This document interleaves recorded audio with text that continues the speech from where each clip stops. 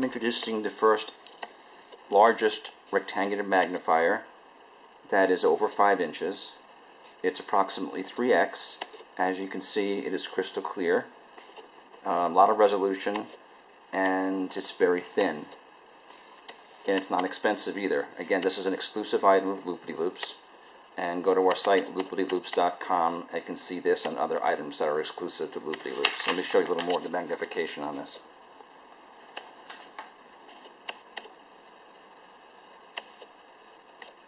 The next item is the largest hand magnifier made, again an exclusive Loopity Loupes product. And this is six inches round. It's amazing clarity.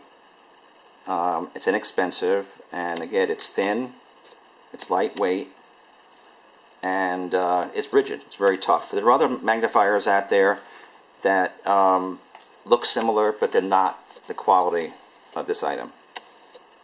And I have one more to show you. And that is the page magnifier.